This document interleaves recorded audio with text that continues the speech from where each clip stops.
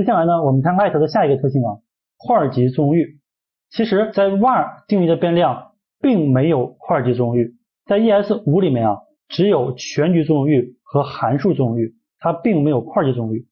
这样的话，其实就带来很多不合理的一些场景。我们看例子，比如说大家看负循环，然后呢，我使用 var 啊，最基础的负循环，i 等于零，i 小于三，i 加加，然后呢，我在这边直接输出这个 i，这个很简单，值是不是就是零一二，对吧？零一二很简单。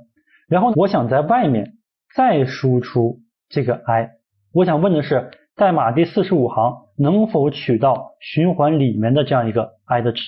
大家想一想哦，我这边呢加一些代码以示区分。比如说这个叫做循环内的，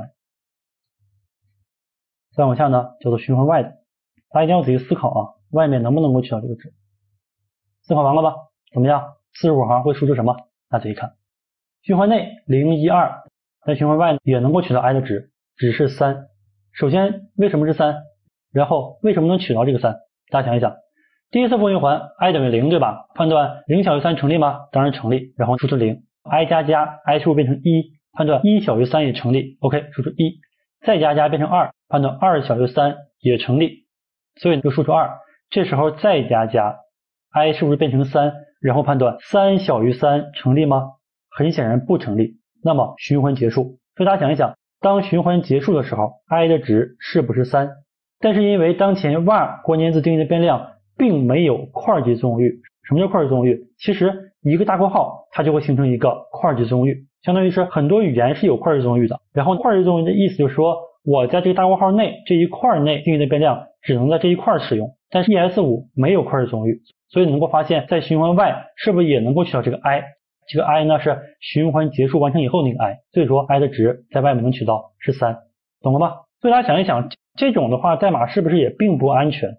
我本来我这个 i 呢，只希望在我这个大括号内这个作用域内去使用的，但是呢，你在外面也能用，其实这样并不好。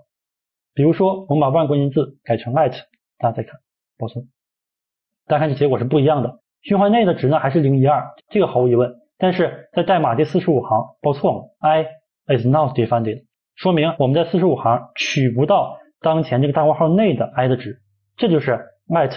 具有块级作用域，这个是我们必须要清楚的。我再给大家举个例子，大家仔细看，比方说我在一句代码，比如说还是 if 吧，大家注意大括号，刚才我说过，它就会形成一个块级作用域。我这边写个 false，说明 if 里面的代码啊，我不想被执行，对吧？然后 var a 等于五，我在外面输出这个 a，我想问大家，这一行代码第五十行会输出什么样的结果？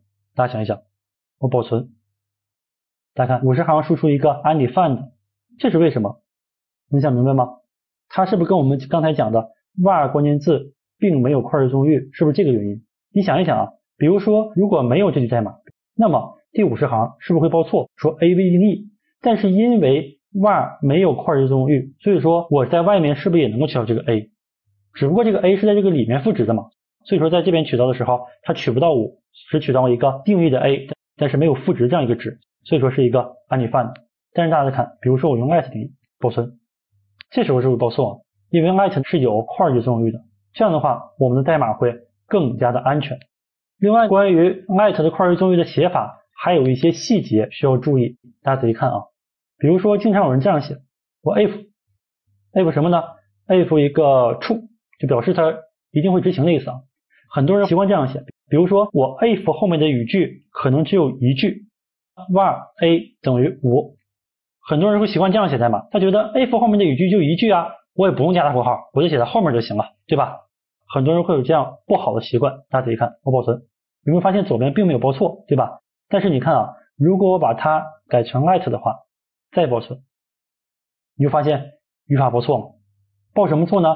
其实这句错误的意思啊。指的就是此法声明不能出现在单个语句的 context 上下文当中，也就是说，在 ES6 的块级作用域是必须具有大括号的，如果没有大括号，GS 引擎就认为不存在块级作用域，这时候就会报错。所以说，哪怕你 if 后面的语句只有一句，那么在 ES 新的语法里面，你也需要把这个大括号给它写全，然后格式化一下，这种代码的可读性才强啊。保存大家看。这边就不会报错。所以这个细节我们需要注意。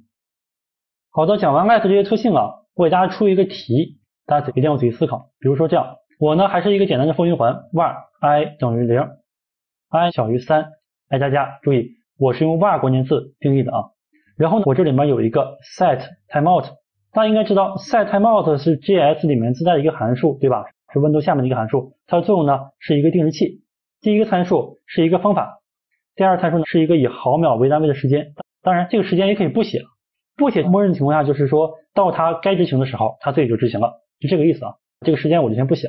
比如说，我在这个里面输出这样一个 i 的值，我想问大家的是，当前这个 i 的值。输出应该是多少？我相信很多同学在面试的时候应该都遇到过这道题，对吧？有答案了吗？我们看先看答案。三个三，第一个圈是不是表示出现的次数，对吧？几次呢？三次，三次都是三。哎，为什么是三个三啊？其实我相信很多同学会认为输出结果应该是零一二，应该是这三个值。我相信很多同学是这样认为的。那为什么会输出三个三呢？大家想一想，虽然我后面没写时间，但是 set timeout 叫做一个异步的操作。什么叫异步操作？它并不会马上执行。在 JS 当中呢，有一个叫做事件循环机制 （event loop）。set timeout 这种异步操作呢，它会等到主线程空闲，并且我这个时间也到的时候才执行。但大家想一想，我们的 for 循环其实相当于是一个同步操作，它会直接执行三次。但是当它执行的时候，其实我们这样一个异步操作并没有执行。当 set timeout 第十五十九行执行的时候呢？其实 for 循环已经执行完成了，这个时候取到 i 的值是循环完成以后所对应那个值。我们上面分析过，这个循环结束完成以后，i 的值是几啊？是三。所以说 set timeout 输出三次，相当于因为是 for 循环三次，会有三个 set timeout 这样的异步操作。每个异步操作在取值的时候，都是在 for 循环执行完成以后，它才去取值。所以说取到值是结束的结果。答案是三个三，懂了吗？但是我有这样的需求啊，我现在不希望是三个三，我希望它的值就是零一二，我们应该怎么去做？我相信这个时候有些同学，有一些基础同学啊，会想到一个词叫做什么？叫做闭包，叫做闭包。我演示一下怎么写，大家看，我在这个里面呢，写一个函数的立即执行，比如说我这边写一个方法，什么叫函数立即执行？我这边是不是相当于定一个方法？但这个方法没有名字。我通过方法括号是不是就直接调用这个方法？因为这个方法没有名字，所以只能被调用一次嘛，它不能被再次调用，对吧？然后呢，我把这段代码直接剪切到这个里面去。大家看啊，当我执行 for 循环的时候，那么这个括号是不是相当于调用这个方法？这边是不是可以传一个实参实际参数？比如说我把这个 i 的值作为实参传到这儿，那这个实参接收的时候。传到这边这个地方是不是应该是接收 i 这个实参的那个形参的地方？形式上参数。当然为了区别啊，名字我改个名字，比如说叫做接。那这边用的时候呢，我用的是这个接形参的名字，因为接在这边就代表 i 嘛，对吧？我们先看一下结果。大家有没有发现，这时候的结果就是刚才我想到的零一二。为什么会这样？到底什么是闭包？我简单的说一下。其实闭包呢是有这样几个特点，它的特点是什么呢？它的特点是。有一个外部函数，然后呢，还有一个内部函数。内部函数会调用外部函数的这样的变量，这时候就能够保证外部函数这个变量的这个状态不被释放。什么叫不被释放？大家想想，循环的时候，我 i 对应的状态是不是应该是零一二？当然瞬间执行完，但是是不是有这三个状态吧？对吧？因为这边形成了闭包，所以说在这个里面一直在引用着外面所对应的值。它外面这个状态这几个值就不会被释放，所以说这边就能够获取到刚才我们强调的零一二，这是闭包的知识啊。这闭包并不是 ES 新的语法啊，是以前的语法，大家一定要呢理解这个闭包的意思。这是闭包实现我这个功能，但是大家再看，我有没有别的方式去实现我这个功能呢？比如说我们今天是不是喜欢 at 对不对？我不想自己写闭包，我呢还是这个 i，格式化一下啊，这样的值是不是还是三个三，对吧？大家仔细看。其实呢，我只需要经过一个小的改动，就能够实现这样的功能。比如说，我把 var 直接变成 at，其他的都不改变。大家仔细看哦，保存。有没有发现这边的值就是零一二？哎，为什么会这样啊？为什么用 at 以后它就会零一二呢？可能同学不能很好理解，对不对？这时候我们可以看一下这段代码如果我编译成 ES5 的代码的时候，它会编译成什么样子？我先把这个代码 Ctrl C，怎么去看它编译完成以后代码是什么样子啊？打开我们的百度，我们搜索 Babel B A B E L 回车，第一个就是啊 BabelJS 点 CN。还记得我前面讲过，说我们的 ES 新的语法并不能被浏览器直接识别，对不对？所以呢，我们需要通过 Babel 去编译。大家看这个网站就是 Babel 的官方网站啊，大家有时间可以去看一看。然后呢，我们点击一下上面菜单试一试。这个页面里面呢，其实左边我们就可以粘入一些新的语法，粘贴进去，右边就会自动的把它转化成浏览器能够识别的 ES 五的语法。比如说，我们先试一下啊，大家看，我这个 at a 等于五，放大一点啊。大家没有发现 at 会直接的被编译成 var，对吧？然后你再看啊，比如说我把刚才这段代码复制到这边，大家注意看右边，大家看右边编译完成代码啊，左边是 at 循环，右边编译成代码放大一些，大家看清楚一些。你看负循环，首先 at 变成 var，对吧？在 var 里面是不是它自动的声明一个函数叫做下划线 loop，这单词是循环的意思嘛？这函数怎么定义呢？大家看是不是外面这是一个函数，然后里面又是一个函数？把这个翻译的插件先关掉啊。